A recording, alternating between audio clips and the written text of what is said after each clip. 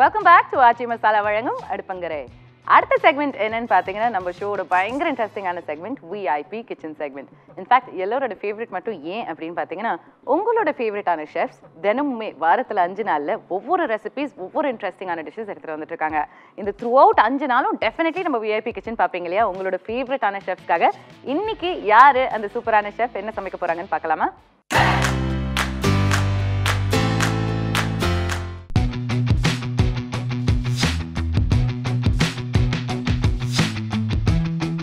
Jaya TV நேயர்களுக்கு வணக்கம்.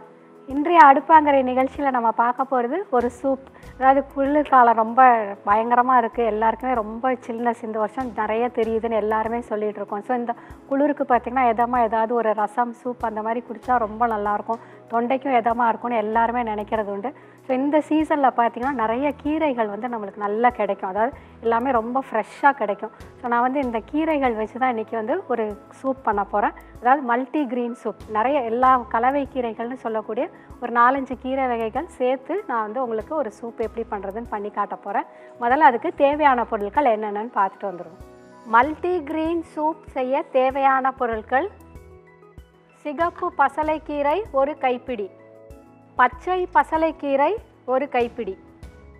தவசி முருங்கைக்கீரை ஒரு கைப்பிடி. பாலக்கீரை ஒரு கைப்பிடி. கேல் நான்கிலிருந்து ஐந்து இலைகள் வரை. முருங்கைக்கீரை ஒரு கைப்பிடி. சோம்பு அரை டீஸ்பூன். புதினா சிறிதளவு. கொத்தமல்லி சிறிதளவு. தக்காளி ஒன்று. சின்ன வெங்காயம் பத்து. பூண்டு பற்கள் நான்கு. இஞ்சி சிறிய துண்டு. பிரியாணி இலை ஒன்று பட்டை சிறிய துண்டு. உப்பு ருசிக்கேற்ப. மிளகு சீரகம் ஒரு டீஸ்பூன். வெண்ணெய் ஒரு மேஜைக்கரண்டி இப்போ நம்ம மல்டி கிரீன் சூப் செய்ய தேவையான பொருட்கள்லாம் பார்த்துட்டோம். இதில் நான் நிறைய கீரைகள் சொல்லியிருக்கிறேன். எல்லாமே வந்து பார்த்திங்கன்னா நம்மளுக்கு எளிதாக கிடைக்கக்கூடிய கீரை தான். ஒன்றே ஒன்று அந்த கேல் மட்டும்தான் ரொம்ப கிடைக்காது. அது கிடைக்கிறவங்க அதை வந்து யூஸ் பண்ணிக்கோங்க. இல்லாதவங்க அதை விட்டுட்டு மற்ற கீரையெல்லாம் சேர்த்து நீங்கள் வந்து யூஸ் பண்ணிக்கலாம். இப்போ பார்த்தீங்கன்னா நான் வந்து இதில் தவசி முருங்கைன்னு ஒரு கீரை சொன்னேன். அந்த கீரை வந்து இந்த மாதிரி இருக்கும். ஸோ உங்களுக்கு நிறைய பேர் பார்த்துருப்பீங்க. ஆனால் இது வந்து என்ன செய்கிறதுன்னு நிறைய பேருக்கு தெரியல. ஸோ இந்த கீரையை வச்சு நம்ம ஒரு சட்னி கூட நம்ம நிகழ்ச்சியிலே பண்ணணும். ஸோ அந்த கீரை தான் இது. அந்த கீரை வந்து இந்த மாதிரி இருக்கும் உங்களுக்கு. தவசி முருங்கைன்னு சொல்லுவாங்க தவசி கீரைன்னு சொல்லுவாங்க. ஸோ இதுவும் எளிதாக கிடைக்கக்கூடிய ஒரு கீரை. ஸோ இந்த கீரை எடுத்திருக்கேன் நான். அடுத்தது வந்து பார்த்திங்கன்னா பசலைக்கீரை. அதாவது பசலை வந்து இது வந்து கொடி பசலை. பசலையிலே ரெண்டு வெரைட்டி இருக்குது இது வந்து பச்சை கலரில் இருக்கும் உங்களுக்கு. இன்னொன்று பார்த்தீங்கன்னா இந்த மாதிரி வைலட் கலரில் இருக்கும். இது எல்லாருமே பார்த்துருப்பீங்க. இங்கே நான் எங்கள் வீட்டுக்கு பக்கத்துலலாம் பார்த்தீங்கன்னா நிறைய ஒரு வீட்டில் வளர்ந்துருக்கு ஆனால் அவங்க வந்து இதை யூஸே பண்ண மாட்டேன். அதுவாக முளைச்சிருக்கு அப்படின்னு சொன்னாங்க. ஆனால் இந்த கீரையில் வந்து பார்த்திங்கன்னா அயன் சத்து நிறைய. குறிப்பாக இந்த சிவப்பு பசலையில் நிறைய உண்டு. இந்த கீரையை வந்து நல்லா யூஸ் பண்ணுங்கள் நீங்கள் ரொம்ப எளிதாக கிடைக்கக்கூடியது. இதை நீங்கள் வந்து வீட்டில் ஒரு தொட்டியில் இப்படியே ஊனி வச்சிங்கன்னா கூட இது நல்லா வந்துடும் அதாவது இந்த இடத்துல ஒரு இந்த கணு வர்ற மாதிரி இடத்துல நல்லா மண்ணில் அமைத்தி ஒரு சின்ன தொட்டியில் வச்சிங்கன்னா இது அது பாட்டுக்கு வளர்ந்துட்டே இருக்கும். அவ்வளோ எளிதாக வளரக்கூடிய ஒரு கீரை தான் இந்த கொடி பசலை. அதாவது இந்த சிகப்பு பசலை ஆகட்டும் இந்த பச்சை ஆகட்டும். ஸோ இந்த கீரை எல்லாமே பார்த்திங்கன்னா நான் எங்கள் வீட்டில் இருந்து தான் எடுத்துகிட்டு வந்திருக்கிறேன். அடுத்தது முருங்கைக்கீரை இந்த தவசிக்கீரையும் எளிதாக வளரக்கூடியது. நீங்கள் இந்த குச்சி மட்டும் அப்படியே வச்சுட்டிங்கன்னா இதை ரெண்டு இலையை விட்டுருங்க. மொத்தமாக நீங்கள் கீரை கடையில் வாங்கிட்டு வந்துட்டு நல்லா மேலெல்லாம் கீரை எடுத்துக்கோங்க. கீழே ஒரு ரெண்டு இதில் இந்த மாதிரி ஒரு மூணு இதில் மட்டும் இலையை பறிக்காமல் அப்படியே விட்டுருங்க. அடுத்து நல்லா கொஞ்சம் தடியாக இருக்கிற மாதிரி பார்த்துக்கோங்க இந்த ஸ்டெம். ஸோ இதை வந்து அப்படியே மண்ணில் பூத்து வச்சிங்கன்னா உங்களுக்கு வந்து அப்படியே இந்த செடி வந்து வளர்ந்துரும். அதுக்கப்புறம் நீங்கள் வேணுங்கும் போது கொஞ்சம் கொஞ்சமாக எடுத்துக்கலாம். ஸோ இந்த தவசி முருங்கை இந்த ரெண்டு பசலை எடுத்துக்கோங்க. அடுத்தது முருங்கைக்கீரை அடுத்தது பார்த்திங்கன்னா இதில் நான் எடுத்திருக்கிற கீரை வந்து இந்த கேல். இதுதான் வந்து நிறைய பேர் பார்த்துருக்க மாட்டீங்க. குறிப்பாக வந்து இது நம்ம நாட்டில் ரொம்ப இல்லை. நிறையா வந்து மலை பிரதேசங்களில் நிறைய அந்த கீரை கிடைக்குது. இது வந்து ஃபாரினில் விளையக்கூடிய ஒரு கீரை. இப்போ நம்ம நாட்டிலையும் நிறைய கிடைக்குது. அவங்க வந்து பார்த்திங்கன்னா இதை வந்து சாலடுக்கு யூஸ் பண்ணுவாங்க. இதை வந்து நல்ல எண்ணெயில் பொரித்து சிப்ஸ் மாதிரி சாப்பிடுவாங்க. நிறைய டிஷ்ஷில் வந்து அவங்க யூஸ் பண்ணுவாங்க. ஸோ இது வந்து கேலுன்னு சொல்லக்கூடிய ஒரு வகையான கீரை. அடுத்தது நம்மளுடைய பாலக் பசலைக்கீரை அதாவது டெல்லி பாலக்குன்னு சொல்லக்கூடிய பாலக்கீரை. ஸோ இந்த எல்லா கீரையும் வச்சு தான் நான் இன்றைக்கி வந்து மல்டி கிரீன் சூப் எப்படி பண்ணுறதுன்னு பார்க்கலாம். நல்லா அடுப்பு ஆன் பண்ணிக்கோங்க. இல்லை ஒரு கடாயோ இல்லை கொஞ்சம் அடி கனமான ஒரு குக்கர் பாத்திரமோ எது வேணாலும் நீங்கள் வச்சுக்கோங்க.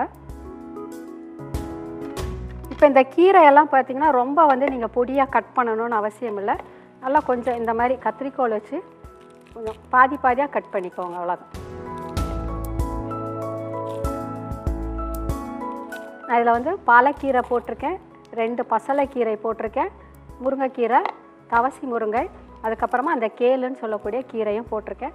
இது தவிர வந்து நீங்கள் நார்மலாக நம்மளுக்கு கிடைக்கக்கூடிய சிறுகீரை அரைக்கீரை அது எதுனாலும் சேர்த்துக்கலாம். முளைக்கீரை அந்த மாதிரி எந்த கீரைனாலும் சேர்த்துக்கோங்க. இப்போ பேன் சூடானவுடனே அதில் கொஞ்சம் வெண்ணெய் போட்டுக்கோங்க.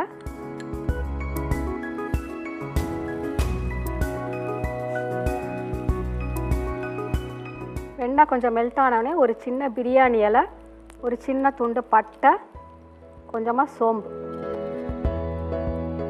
அதுக்கப்புறமா இதில் சின்ன வெங்காயம் இது இஞ்சியும் பூண்டும். நம்ம எல்லாமே வந்து பார்த்திங்கன்னா மிக்சியில் அரைச்சிட போகிறோம் அதனால் நான் அப்படியே முழுசாக போட்டிருக்கிறேன். அதாவது பாதி பாதி கட் பண்ணி போட்டுக்கோங்க. அடுத்தது ஒரு தக்காளி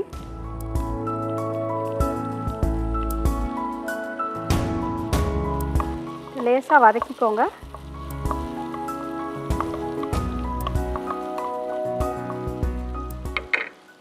இப்போ இதில் பொடியாக கட் பண்ண கீரை வகைகள். பாலக்கீரை சிகப்பு பசலை பச்சை பசலை அதுக்கப்புறமா இந்த கேளுன்னு சொல்லக்கூடிய கீரை போட்டிருக்கேன். தவசி முருங்கை.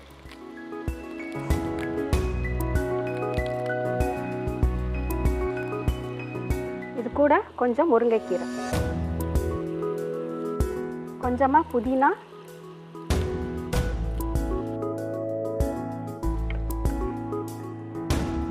கொஞ்சம் கொத்தமல்லி.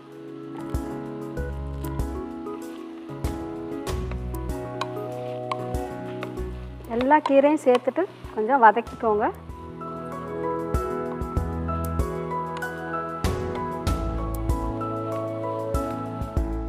இதுலேயே கொஞ்சம் மிளகும் சீரகமும் அப்படியே முழுசாகவே சேர்த்துக்கோங்க. தேவைப்பட்டால் நீங்கள் வந்து அதுக்கப்புறமா சூப் ரெடி பண்ணதுக்கப்புறம் கொஞ்சம் பொடி சேர்த்துக்கோங்க.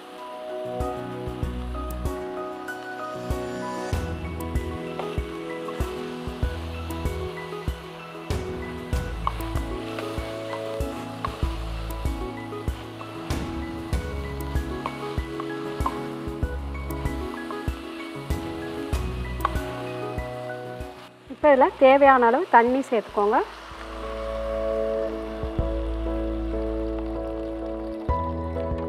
இந்த கீரை வந்து நல்ல ஒரு ரெண்டு கொதி வந்ததுக்கப்புறம் பார்த்திங்கன்னா நம்ம சேர்த்துருக்க எல்லா கீரையுமே ரொம்ப சீக்கிரம் வேகக்கூடிய கீரை தான் ரொம்ப நேரம் டைமே எடுக்காது.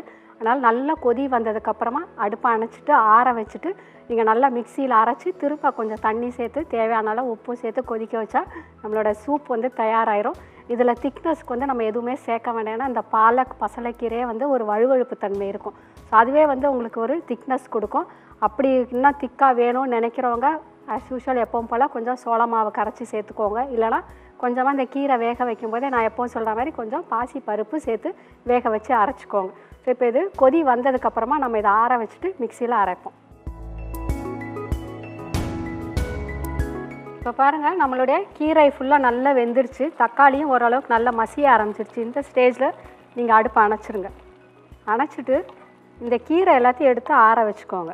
இப்போ நீங்கள் வந்து இதை அரைக்கும் போது இந்த பிரியாணி இலையை மட்டும் எடுத்துருங்க. பட்டா வந்து அதிலே கிடக்கட்டும் உங்களுக்கு தப்பு இல்லை. பிரியாணி இலையை எடுத்துருங்க. இப்போ நல்லா முதல்ல ஆற வச்சுருவோம்.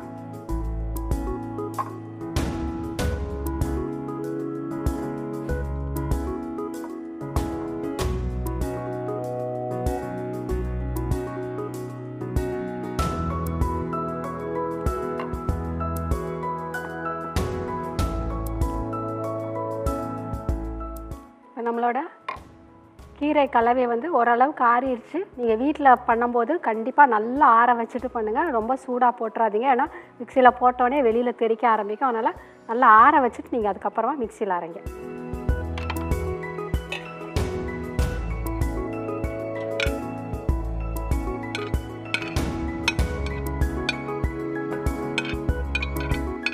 நம்ம வேக வச்ச ரெண்டு பசலைக்கீரை அதுக்கப்புறம் பாலக்கு கேல் முருங்கைக்கீரை தவசி முருங்கை அது கூட தக்காளி கொஞ்சம் ஒரு சின்ன வெங்காயம் இஞ்சி பூண்டு மிளகு சீரகம் சோம்பு எல்லாம் சேர்த்து இதில் வேக வச்சு எடுத்து வச்சுருக்கோம். இதில் நான் வேக வச்சதில் வந்து பார்த்திங்கன்னா பிரியாணி இலை போட்டேன். நீங்கள் மிக்சியில் போடுறதுக்கு முன்னாடி பிரியாணி இலையை மட்டும் எடுத்துருங்க. பட்டை அதிலே கிடக்கட்டும். ஒன்றும் தப்பே கிடையாதுங்க உங்களுக்கு.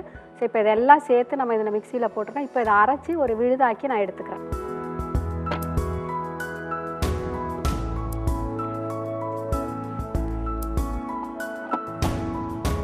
நம்ம கீரையை அரைச்சாச்சு பாருங்கள் உங்களுக்கு சூப் வந்து பச்சை கலரில் இருக்கணும். இப்போ இதை வந்து திரும்ப கொஞ்சம் தண்ணி சேர்த்து நம்ம கொதிக்க வைக்க போகிறோம் அதுக்கப்புறம் அதில் தேவையான அளவு உப்பும் சேர்க்க போகிறோம்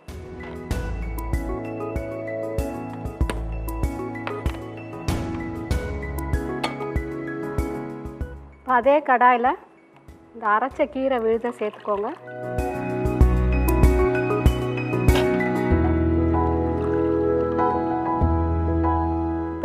உப்புக்கு சூப்புக்கு தேவையான அளவு உப்பு போட்டுக்கோங்க.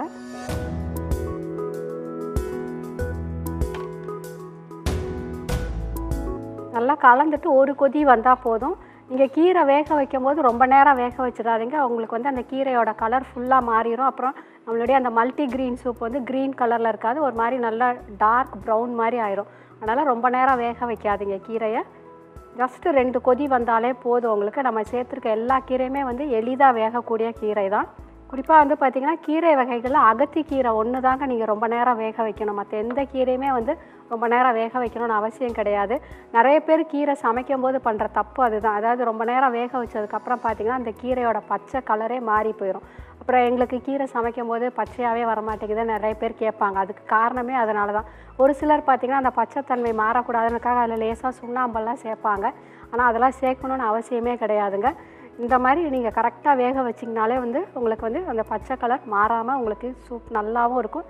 கீரை வந்து எப்போவுமே க்ரீனிஷாகவே இருக்கணும். நீங்கள் கீரை சாப்பிடும் போதே பார்த்தீங்கன்னா அது க்ரீன் கலரில் இருந்தால் தான் அதோட டேஸ்ட்டு அதை பார்க்குறதுக்கும் வந்து ரொம்ப நல்லாயிருக்கும் உங்களுக்கு.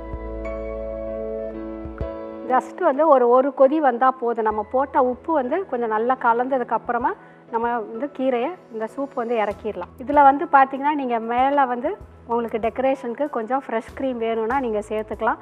இல்லைனா அப்படியேவே நீங்கள் வச்சுக்கலாம். ஸோ நம்மளுடைய மல்டிக்ரீன் சூப் வந்து தயாராகிடுச்சு இப்போ இந்த சூப்பில் வந்து நீங்கள் டெக்கரேஷனுக்கு அதாவது அழகுக்கு கொஞ்சமாக கேரட் துருவல் சேர்த்துக்கலாம். உங்களுக்கு அந்த க்ரீன் கலரில் அந்த கேரட்டோட ஆரஞ்சு வந்து ரொம்ப அழகாக எடுத்து கொடுக்கும். அதே மாதிரி உங்களுக்கு ஃப்ரெஷ் க்ரீம் விருப்பப்பட்டால் இதில் மேலாப்பில் கொஞ்சமாக சேர்த்துக்கலாம். ஸோ இதில் வந்து நீங்கள் பாலெல்லாம் எக்ஸ்ட்ரா சேர்த்துறாதீங்க. பால் சேர்க்கும் போது என்ன ஆகும்னா இந்த பச்சை கலர் வந்து கொஞ்சம் டல்லாயிரும் அப்போ உங்களுக்கு வந்து அது க்ரீன் சூப் மாதிரி தெரியாது. அதனால் இப்படியே நீங்கள் வந்து சர்வ் பண்ணலாம். பால்லாம் வந்து உங்களுக்கு விருப்பம் இருந்தால் நீங்கள் சேர்த்துக்கோங்க. சில நேரம் பார்த்தீங்கன்னா நம்ம சூப்பில் வந்து மிளகு சீரகம் சேர்க்கும்போது மிளகோ சீரகமோ தூக்கல் ஆயிடுச்சுன்னா கொஞ்சம் காரமாக தெரியும். ஸோ அந்த காரத்தை குறைக்கணும்னு நினச்சிங்கன்னா கொஞ்சமாக பால் சேர்த்துக்கோங்க. ஸோ இப்போ பாருங்கள் நம்மளுடைய மல்டி க்ரீன் சூப் தயாராகிடுச்சு இந்த மல்டிக்ரீன் சூப் வந்து பார்த்திங்கன்னா மல்டி விட்டமின் சூப் அப்படின்னு சொல்லலாம். ஏன்னா நம்ம சேர்த்துருக்க கீரை வகைகளில் எல்லா சத்துக்களுமே இருக்குது உங்களுக்கு எல்லா விட்டமினும் இருக்குது எல்லா மினரல்ஸும் இருக்குது கீரை சாப்பிடாத குழந்தைங்க கூட பார்த்திங்கன்னா இந்த மாதிரி ஒரு சூப் ஒரு சின்ன கப்பு குடித்தாலே போதும். அவங்களுக்கு நல்ல எல்லா சத்துக்களும் உடம்போட போய் சேரும். அதனால் முடிஞ்ச அளவுக்கு உங்களுக்கு எப்போல்லாம் டைம் கிடைக்குதோ ஒரு சண்டேஸில் நீங்கள் ஃப்ரீயாக இருக்கும்போது மார்னிங் பிரேக்ஃபாஸ்ட் டைப்பில் இந்த மாதிரி ஒரு கீரை சூப்பும் ஒரு ரெண்டு பிரெட் ஸ்லைஸ் நீங்கள் அவங்களுக்கு கொடுத்து அவங்க சாப்பிட்டாலே வந்து அவங்களுக்கு நல்ல எனர்ஜி கிடைக்கும். நிறைய இந்த மழை நேரத்தில் இந்த குளிர்காலத்தில் வந்து இந்த மாதிரி சூப் வெரைட்டிஸ்லாம் நிறையா கொடுங்க. உடம்பும் ரொம்ப ஆரோக்கியமாக இருக்கும். என்ன நேர்களை இன்றைக்கி நம்ம ஒரு மல்டி கிரீன் சூப் பார்த்தோம். அதாவது மல்டி விட்டமின் சூப்புன்னு கூட நீங்கள் சொல்லலாம். இந்த சீசன் நம்மளுக்கு எளிதாக கிடைக்கக்கூடிய எல்லா கீரை வகைகளையும் வச்சு ஒரு எளிதாக செய்யக்கூடிய ஒரு சூப் பார்த்தோம். கண்டிப்பாக எல்லோரும் ட்ரை பண்ணி பாருங்கள் இந்த குளிர்காலத்துக்கு ஏற்ற ஒரு சூப் நல்லா மார்னிங் பிரேக்ஃபாஸ்ட்டு ஸ்கிப் பண்ணணும்னு நினைக்கிறவங்க இந்த மாதிரி ஒரு சூப் சாப்பிட்டுட்டு போனீங்கனாலே உங்களுக்கு வந்து அன்றைக்கி நாள் ஃபுல்லாக தேவையான எனர்ஜி கிடச்சிரும். ஸோ எல்லோரும் ட்ரை பண்ணி பாருங்கள் நல்லா சாப்பிடுங்க. ஆரோக்கியமாக இருங்க. இதே மாதிரி ஒரு நல்ல ரெசிபியோட மீண்டும் உங்களை அடுத்த வாரம் அடுப்பங்கரை நிகழ்ச்சியில் சந்திக்கும் வரை வணக்கம் கூறி விடைபெறுவது கிருஷ்ணகுமாரி ஜெயக்குமார். இன்னைக்கு எங்க அடுப்பங்கிற எபிசோட பார்த்து டெஃபினெட்லி என்ஜாய் பண்ணியிருப்பீங்க. இன்ஃபேக்ட் இந்த டுவெண்ட்டி எயிட்டீன்ல பார்த்தீங்கன்னா மூணு மாசமாவே நாங்க எடுத்துட்டு வர ஒவ்வொரு ப்ரோக்ராமா இருக்கட்டும் ஒவ்வொரு டிஷ்ஷா இருக்கட்டும் நீங்க எல்லாருமே பார்த்து ரொம்ப என்ஜாய் பண்ணி எங்ககிட்ட வந்து சொன்ன ஒரே ஒரு விஷயம் என்னன்னா உங்க ஃபேமிலியில எங்களை ஒருத்தரா பாக்குறீங்க. இதை விட ஒரு சூப்பரான ஒரு நியூ இயர் டெஃபினெட்லி நாங்க யாருமே கேட்க முடியாது. So here's wishing all of you a very very happy new year இனிய புத்தாண்டு வாழ்த்துக்கள். எங்க குடும்பத்திலேருந்து உங்க குடும்பத்துக்கு. ஸோ இதே மாதிரி உங்களுக்காக டூ தௌசண்ட் நைன்டீன்ல பயங்கர இன்ட்ரெஸ்டிங்கான எபிசோட்ஸ் எங்க மொத்த அடுப்பாங்கரை குடும்பமும் எடுத்துட்டு வர போது until then this is me Sheetal saying bye bye from Jaya TV இது நம்ம ஆச்சி மசாலா வழங்கும் அடுப்பங்கரை One, two, three, here we go. Gama, gama, gama, gama. அடுப்பாங்கர. சம, சம, சம, சம. அடுப்பாங்கர. கப, கப,